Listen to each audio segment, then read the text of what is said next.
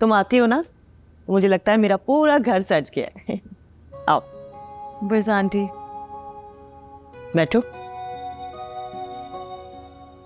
अब तुम्हारे अब्बा जब लौटेंगे ना तो हम फ़ौरन तुम्हारे घर आ जाएँगे। और सिर्फ़ रिश्ते की बात नहीं करेंगे डेट भी मांग लेंगे।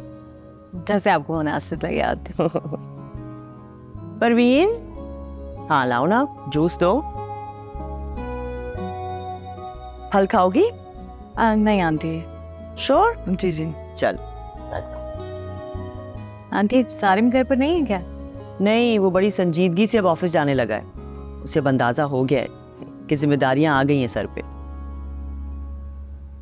आंटी सारे अलिशबा की वजह से बहुत परेशान है।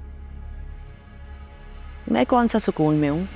कहते हैं कि अगर उसके होते हुए मैं इस घर में आ गई तो मेरे लिए ज़िंदगी बहुत मुश्किल बना देगी। तुम्हारे लिए मुश्किलात पैदा करने की ज़रूरत भी नहीं होगी उसमें। आंटी आप उसकी एक्सपर्टीज से वाकिफ नहीं है अभी। वो तो इस घर में होते हुए दूसरों के घरों में आग लगाने का हुनर जानती है। आपकी सोच से भी बहुत तेज़ है वो। अंदाज़ा हो रहा है मुझे।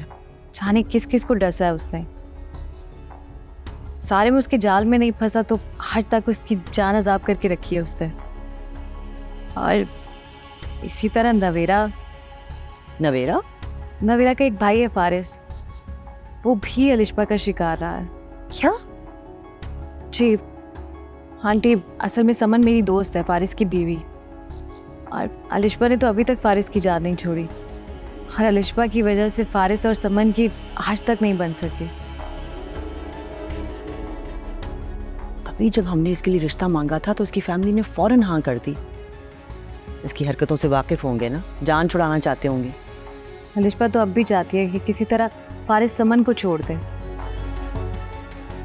ये फारिस तो सारिम का दोस्त भी है ना? जी। सारिम फारिस और अलिशबा के बारे में सब कुछ जानता है। बेवकूफ़ लड़का है। सब कुछ जानता है तो जबान क्यों नहीं खोलता? आंटी उसे पता है ना कि उसकी बात पर यकीन कौन करेगा।